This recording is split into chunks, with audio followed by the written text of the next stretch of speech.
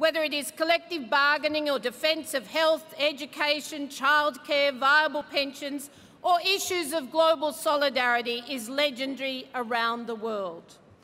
And we, as we see corporate power collude to destroy collective bargaining, to erode wages and drive greater inequality, as we see big business and big finance cower governments as they demand higher and higher profits for the 1%, then the CLC's generous support of the Committee on Workers' Capital is very much appreciated. With your leadership of the CWC, Ken, we are bringing this work centre stage as we take on big business and big finance nationally and internationally.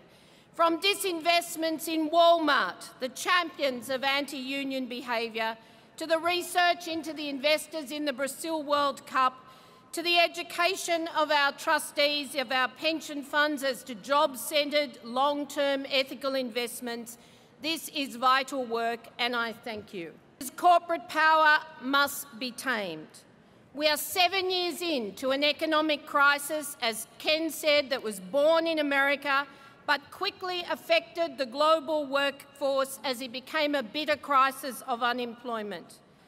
I recently heard America's Jeffrey Sachs say American democracy was the best that money could buy. The victims of this corporate intrusion are our people. I have sat with many of the workers in crisis countries and captured their stories. They break your heart, they make you angry, but most of all, they make you determined to fight right alongside of them. These workers and many more around the world are in the front lines, the front lines of a war on workers from the very forces that brought them the financial, brought the financial system to its knees in 2008. But now, having stolen taxpayers' money to recapitalise, they're looking for the blood of workers. And having a taste of power, organised employers have now taken this fight inside the ILO. They are challenging governments to abandon ILO jurisprudence, beginning with the right to strike. Therefore, our fight is also now in the very heart of workers' territory, the UN system and the ILO in particular. These workers and many more around the world are in the front lines, the front lines of a war on workers from the very forces that brought them the financial, brought the financial system to its knees in 2008. But now, having stolen taxpayers' money to recapitalise, they're looking for the blood of workers and having a taste of power, organised employers have now taken this fight inside the ILO. They are challenging governments to abandon ILO jurisprudence, beginning with the right to strike. Therefore, our fight is also now in the very heart of workers' territory, the UN system and the ILO in particular. Right-wing employers, as well as uh, employers uh, uh, uh, right-wing employers are actually exploiting government's weakness globally. And now they're taking the fight to the streets in places like Cambodia, where they defended the military intervention against workers for, who were striking for minimum wages of $160 a month. $160 a month is what it will take to eke out a living with dignity in Cambodia and the, and the employers, the local brands, think it's okay to shoot and jail trade unionists. Well, brothers and sisters, not on our watch. Not on our watch.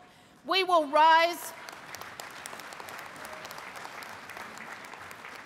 We will rise from our Congress in just two weeks, I have no doubt, with, uh, with a commitment, a determination to fight for a minimum wage on which people can live everywhere, with a determination to fight for universal social protection. And we're going to begin in Asia and move it on around the world, and I know you'll be with us. Brothers and sisters, we are the voice. Tragically, we are the voice of opposition.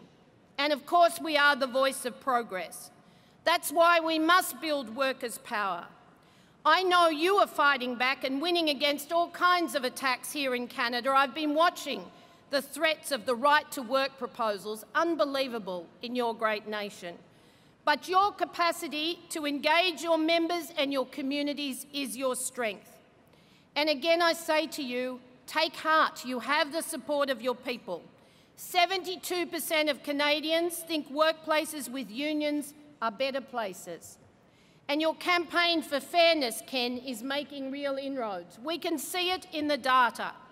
Our data shows that the number of people who strongly support the right to join the union rose from 32% in 2012 to 39% in 2014, and you have 44% on top of that who support it to uh, uh, somewhat support it. That's a huge 71% of people who are warm about Canadian unions.